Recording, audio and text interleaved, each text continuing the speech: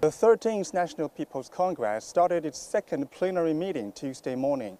President Xi Jinping and other Chinese officials attended the meeting at the Great Hall of the People in Beijing. Li Zhanshu, chairman of the NPC Standing Committee, delivered a work report of the NPC Standing Committee. Li looked back on the work achievements of the Standing Committee in 2021.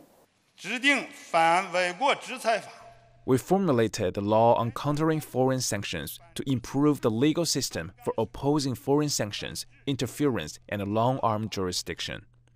According to this law, in order to resolutely defend China's sovereignty, security, and development interests, and resolutely safeguard the lawful rights and the interests of its citizens and organizations, China has the right to take proportional countermeasures in response to any country's acts of any form or under any pretense that interfere in China's internal affairs or harm its national interests of its citizens and organizations. He also introduced the work targets for this year and specifically emphasized the further building of whole process people's democracy. 把全过程人民民主 We advance the whole process people's democracy in every aspect and throughout the entire process of our legislative oversight and deputy related work.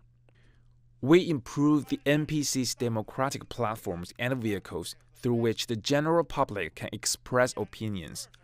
Lawmakers also heard the work report of the Supreme People's Court delivered by its President Zhou Qiang and the work report of the Supreme People's Procuratorate delivered by Procurator General Zhang Jun. On the sidelines of the second plenary meeting, some NPC deputies and ministers of science and technology, industry and information technology, as well as water resources, took part in the online interviews.